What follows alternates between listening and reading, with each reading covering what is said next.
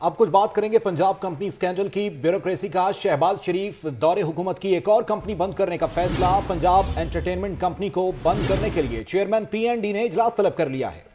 اسی حوالے سے بات کر لیتے ہیں نمائندہ لاہور۔ نیوز زین العابدین سے زین اپڈیٹ کیجیے گئے اجلاس طلب کیا گیا ہے۔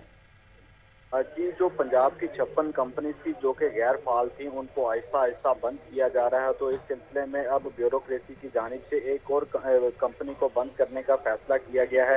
یہ پنجاب انٹرٹینمنٹ کمپنی کے نام سے یہ کمپنی وجود میں آئی تھی اور شہباز دور حکومت میں اس کو اٹھائیس کروڑ روپے کی اٹھائیس کروڑ روپے کی فنڈنگ کے بعد یہ پنجاب انٹرٹینمنٹ کمپنی کی بنیاد رکھی گئی تھی، مگر کمپنی کی جانب سے تین سالوں میں کوئی بڑا تفریحی شو کا انعقاد نہیں کیا گیا، جس کے بعد اب یہ فیصلہ فیصلہ کیا گیا ہے کہ اس کمپنی کو بند کر دیا جائے اور چیئرمین پی این ڈی کی جانب سے اس کمپنی کی بندش اور اس کی لائبلٹیز کو جانچنے کے لیے اجلاس طلب کر لیا گیا ہے۔ اس اجلاس میں secretary finance secretary law secretary information D G L D اور ڈی جی سی ایس شرکت کریں گے۔ اجلاس میں کمپنی کی بیلنس شیٹ اور بینک بیلنس کے حوالے سے جتنے بھی دستاویزات ہیں وہ پیش کی جائیں گی اور اس کے بعد اس کے ایسٹ کی ڈکلیریشن کے بعد کمپنی کو باقاعدہ طور پر بند کرنے کا نوٹیفیکیشن جاری کیا جائے گا۔